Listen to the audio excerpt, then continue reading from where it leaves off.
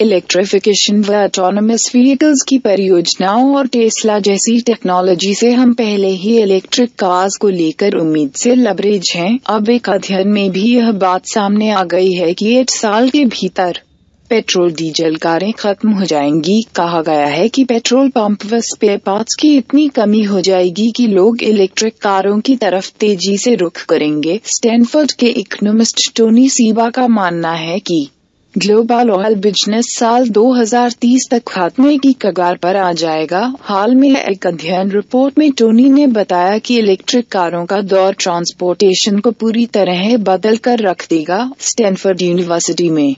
छपी इस अध्ययन रिपोर्ट में कहा गया कि एक साल के भीतर पेट्रोल, डीजल कारें खत्म हो जाएँगी और मजबूरी में लोग इलेक्ट्रिक कारें व ऑटोनमस व्हीकल्स की तरफ़ तेज़ी से बढ़ेंगे। टोनी का कहना है कि इलेक्ट्रिक व्हीकल्स पर आने वाले खर्च के चलते उस वक्त कारें, बसें और ट्रक तेज़ी से घटेंगे, जिससे पेट्रोलियम इंडस्ट्री भरभरा कर रह जाएगी। अध्ययन रिपोर्ट में सामने आया है कि इलेक्ट्रिक व ऑटोनमस व्हीकल्स पर आने वाला खर्च पेट्रोल, डीजल के मुकाबले 10 गुना सस्ता होगा। साथ ही इलेक्ट्रिक व्हीकल्स की लाइफ सोलह शून्य नौ तीन सौ चौवालीस किलोमीटर होगी।